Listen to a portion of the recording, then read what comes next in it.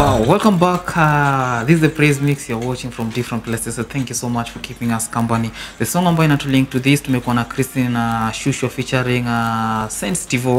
Uh, nimekuwa nikikuelezea tu sana uh, the genesis of the track pale hivyo wao tumetoka wapi na pale uh, especially the artist ambao umekuwa kwa mifupa mikavu that is the track and then nimekuja kwa anaitwa nani Baraka Music. Baraka Music one of the dope artist anafanya muziki wake especially kabongo kidogo uh, uh, Numse ako na story sana. E, tunajua mziki wake alianza kufunga stage. So ukiona zile the big stage tumeunderstand tumekuwa season ya campaign umeona all the portable stages zimekuwa hapa na pale. He was the one akifunga uh, those stage hapa na pale ku make sure that uh, eh, ni, nisaidie spana nisaidie kitu fulani nisaidie screw fulani. Amekuwa pale naona ameweza kukuja mpaka akarekodi mziki na saizi god ameweza kumwelevate on the, next level.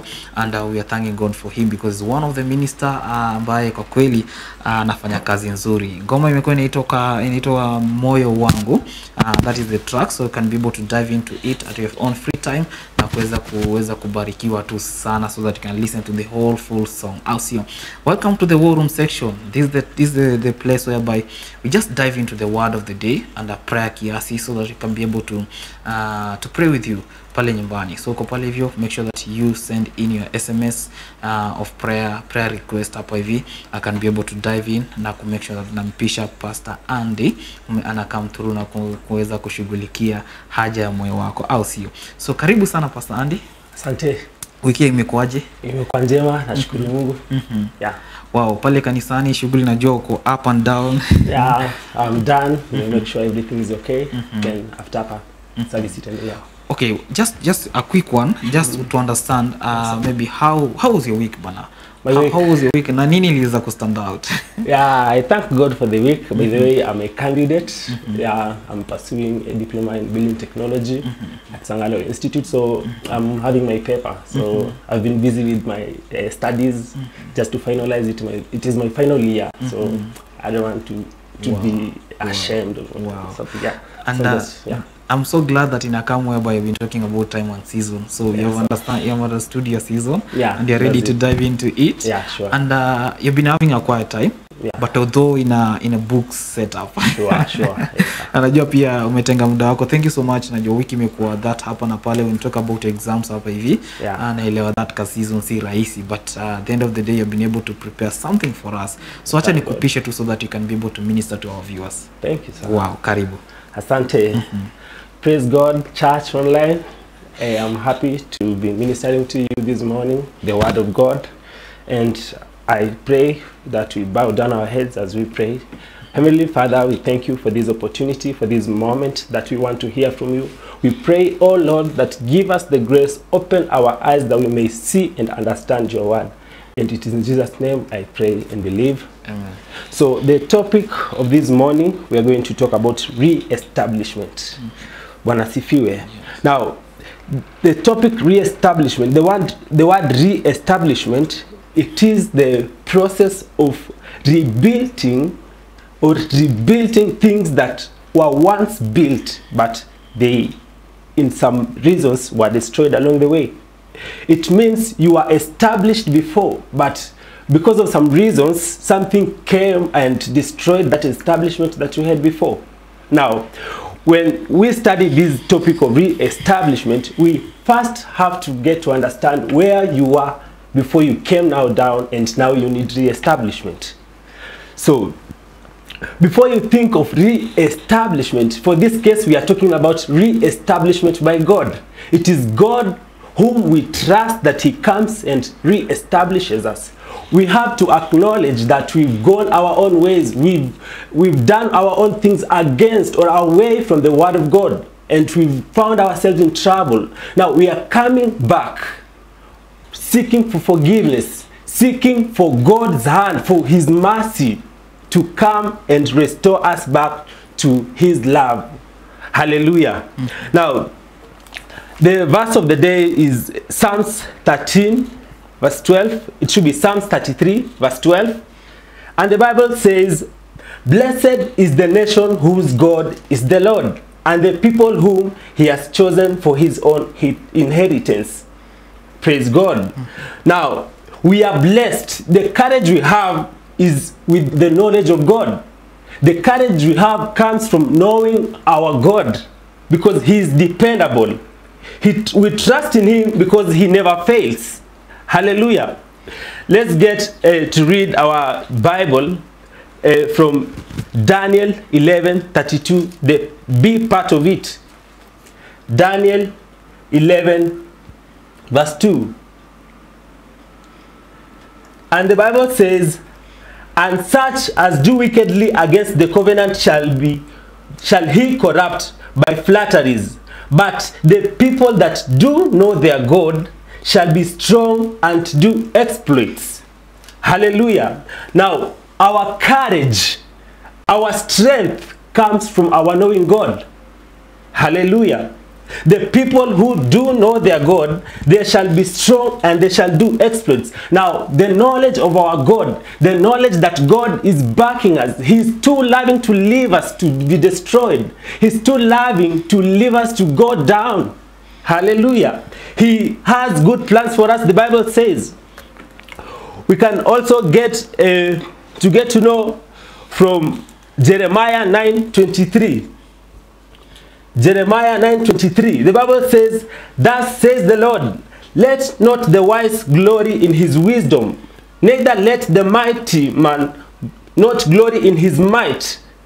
Let not the rich man glory in his riches, but let him that glorieth, that's verse 24, that but let him that glorieth glory in this, that he understandeth and knoweth me. Now, our glory as Christians, we glory not because we have cars. Cars are not uh, cars are important, but we don't glory because we have cars. As Christians, we don't glory because we have good marriages, working marriages. As Christians, we don't glory because our, our life is, uh, we have money maybe. That's not enough for our glory. The Bible gives us a, a direction here that let him that glory, glory in this, that he understands me. Now, if you come to me and tell me my life is counting, if you come to brag to me that at least you're making it life, we live in a generation where you can meet your fellow student. You work together during high school or primary. Then after some time you meet. Now you are meeting, you are asking to know how the person has progressed. We see ourselves flutter around how you've built houses, how you've bought cars. And we sweep under the carpet the knowledge of our God. We don't give it a priority. Hallelujah. Now, I came this morning to let you know that in whatever you have, if God is not at the center of it, you really have nothing. If all that you glory in, God is not part of it, then you have a long way to go. Hallelujah. Let's continue. John 17, verse 3. John 17, verse 3. And this is eternal life that's what the Bible is saying. And this is eternal life, that they might not, that they may know me, the only true God, and Jesus Christ, whom you have sent. Eternal life in our domain is that we might know God, the only true God, and Jesus Christ, whom has been sent. Now, even before we talk about restoration, you have to be put right with God. You have to know the Lord. You have to have that eternal life that the scripture explains it as the knowledge of Christ. Hallelujah. The last verse on this, Philippians 3.10. The Bible says, I want to know Christ. Yes, to know the power of his resurrection and participation in his sufferings and becoming like him in his death. Our Christian pursuit should not be cars and money, as good as they are. I acknowledge we need them, but we should not enthrone them and put them above God. This is what the scripture is teaching us. That your lifetime pursuit should be the knowledge of God and Christ. Hallelujah. Now, we are talking about re-establishment here. Now, before you are re-established you have to get to know what took you down. You are up some time back and now you are down. So you have to understand how you got yourself from the track and you are now a failure. Now here are things that got us back to failure. Number one carelessness sometimes we're not careful about our lives. We are not discerning about the actions that we take. We should be careful in our decision making. Hallelujah. You have to ask god in prayer. You have to seek god to help you out so that you will not be careless in your life. Number two ignorance.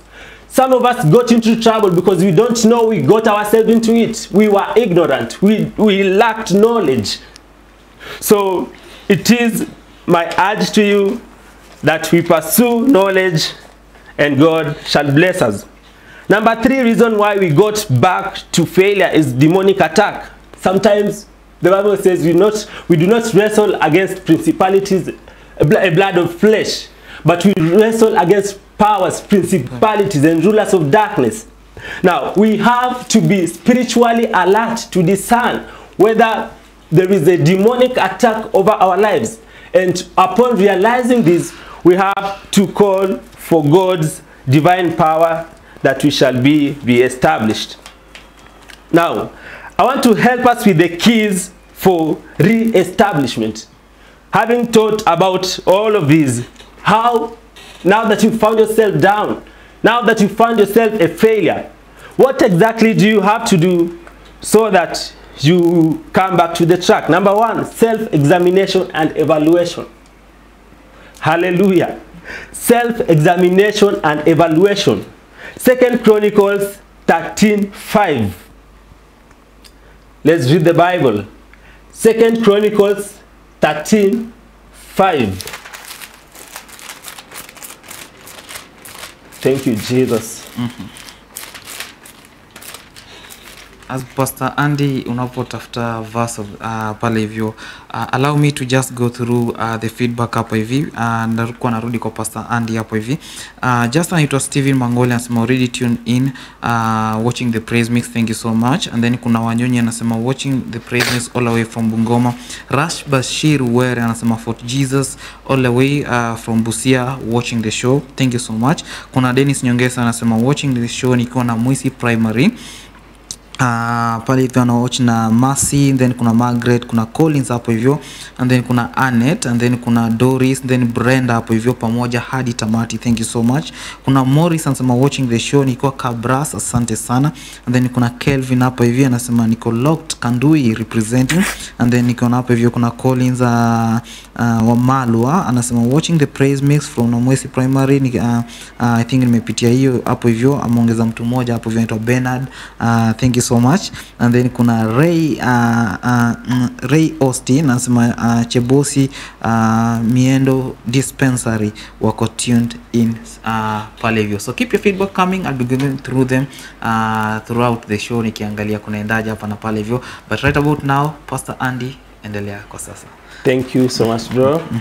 Now, we are talking about the keys to restoration. And number one, I've said it is self examination and evaluation. You have to come to yourself and evaluate yourself and examine yourself where you're coming from and where you're going through. Now, Second Chronicles, Second Corinthians 13 5. Here is what the Bible says that, sorry, uh, the Bible says, Examine yourselves whether ye be in faith. Prove your own selves.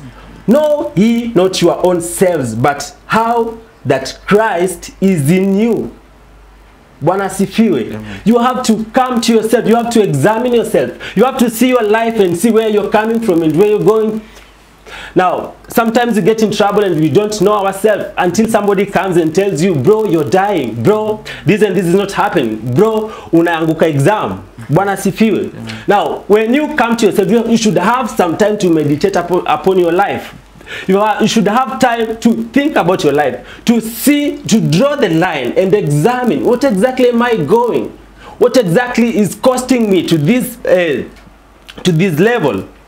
The Bible says in Psalms 4 4, tremble and do not sin. Meditate your heart upon, meditate in your heart on your bed and be still.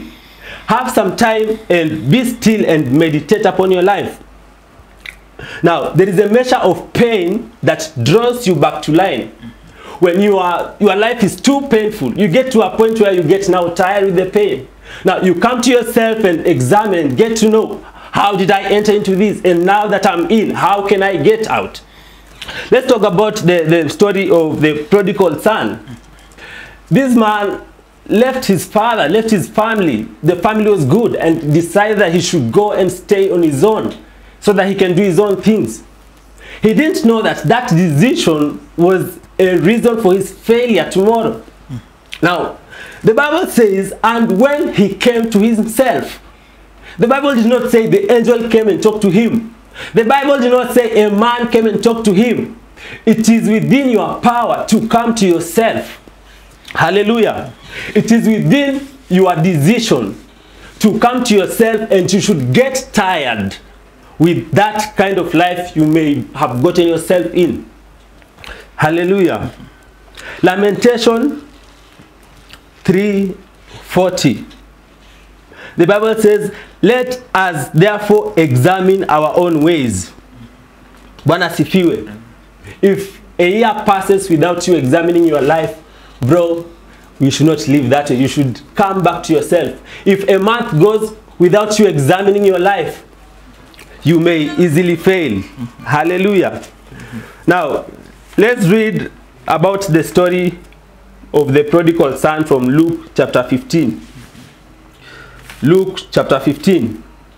Let's get to know what exactly took this man out of the trouble he was in and now he came back to himself and decided to go and meet his family, his father. And we thank God the father did not reject him. Luke 15. Let's start from verse 17. Luke 15 from 17. And when he came to himself, he said, How many hired servants of my father's have bread enough and to share? And I perish with hunger. Now, the first step he took is to arise and to go to the father. That's uh, verse 18. I will arise and go to my father, and I will say unto him, Father, I have sinned against heaven and before you. Now, after coming yourself, uh, uh, coming to yourself and examining yourself, the first point there is you you you gain the courage now to go back to your father because you messed. You should be beaten. You should be put into jail. Now you messed, but when you gain the courage now to go back, because I'm very sure if the the, the father was a temperance, he would have done something. He would have even killed him because he destroyed his life. The father had given him a good reason to stay. He had given him a good environment at home. But this man comes and he's out of his mind and he, he goes away. Now, when he comes back, our fathers, I love uh, the parents who love their kids. They, they, they, they can take you back. They, they are too loving. Now, that's the nature of God. He is too loving to leave you to be destroyed. He's too loving to leave you to die. When you come back to him, he has that pity. He has that heart for forgiveness over your life. He knows when you fail, there are so many destinies that will fail. Our God knows that we don't live on our own. There are so many people depending on you. It is not even your family alone. When you rise, the church will grow. You will be a blessing to humanity. Those who are poor, you're the one who be lifting them. Now, when you re realize yourself and come back to God, it is because of the love of God that he receives you back. Now, he receives you not only because of you, he receives you because of his love, number one. Number two, he receives you because he knows through you, he can use you to convey his word to the generation. The Bible says uh, in the book, it should be John, the Bible says, when John came, he came as a witness. he came as a witness to uh, to show the earth. Now, we as the Christians, we are witnesses. Whenever you go, you have to portray that picture of God. Whatever you do, if it is that workplace you are going in, you should have something that is of God. Somebody should look at you and see God through you. When God wants to bless a person, he will not come from heaven. He will use you. Now, when we go astray, God is, is angered. It is like we are going against the will of God. That's why he receives back uh, everyone who is astray. Now, I speak to everyone who may have messed around. Maybe uh, you lost the track, you were a Christian before, but now things are not working. But now you are a student, but things are not working. You are nearing the examination, but you have nothing in head. Hallelujah. Maybe your marriage has uh, turned into a den of whatever. You are struggling in everything you are doing. I came with a word of encouragement, uh, encouragement from God that He is too loving. He is too loving to leave you to die. Hallelujah. Let's talk about now. Uh, after now you have the courage to go back to the Father, you have to make a step of faith. Hallelujah. Now, faith is not just believing that God can do it. If this man believed that he can go back to the Father and he will receive him back, then just stood or slept and just kept on thinking about this, he will not be saved. The next step you have to take is the step of courage. Now, I describe faith as that action you take, not just believing, the action you take. Hallelujah. He took the action to go and it takes courage. Your marriage now is in, in, in destruction. You have to take the courage and go before God and say, I'm a success, I'm not a failure. Your examinations, your, your academic status is, is not well. You have to gain the courage and believe in God, in yourself.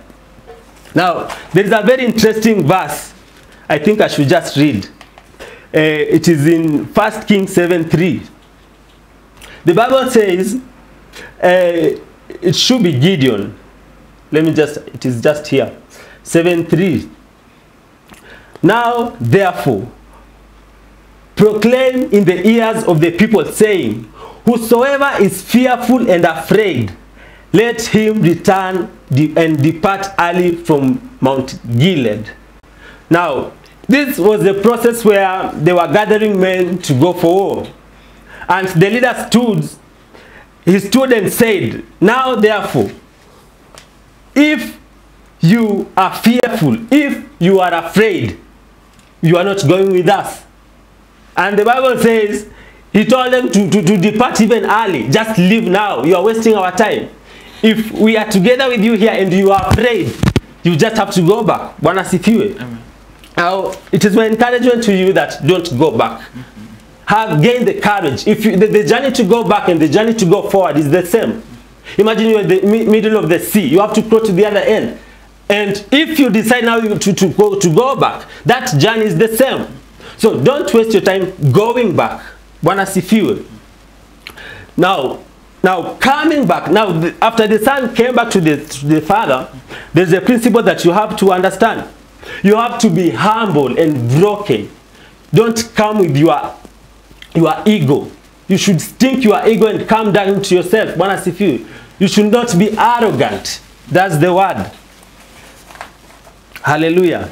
And the last one is now after you come back, you have to gain the knowledge now to restart again. Now you are in the house now of your father. Now he accepted you. The first thing you have to know now, gain the knowledge so that you will not go back to what took you out of the family, out of the faith of God. Bwana sifiwe. You have to gain the knowledge and understanding. Hallelujah. And with that, you will make it. Now, I speak to those who are in storm right now. It takes the prophetic. You have to be inclined to a man of God somewhere. Don't just say I worship here, here, and here. You have to have your spiritual father, your spiritual mother, and that person is the one who is gonna pray for you. He's, he's gonna pray restoration to you. He's gonna pray re-establishment. If you are uh, you are you are occupied or you are uh, demon possessed it is not your own uh, uh, working that will get you out of this it is the prophetic you have to be prayed of and the lord shall be benevolent enough to help you Wow. Thank wow. you, bro. Wow. Thank you so much, Pastor Andy, uh, awesome. for coming through with that dope word. Awesome. uh, at the end of the day, kitu excited to sana from the word of the day that the journey for going back and uh, going forward is just the same. So Yeah. it's you to choose. Wewe unataka kurudi back ama you just want to go back for so many stuff. And remember the the bit the bit the bit the, the bitter truth about it.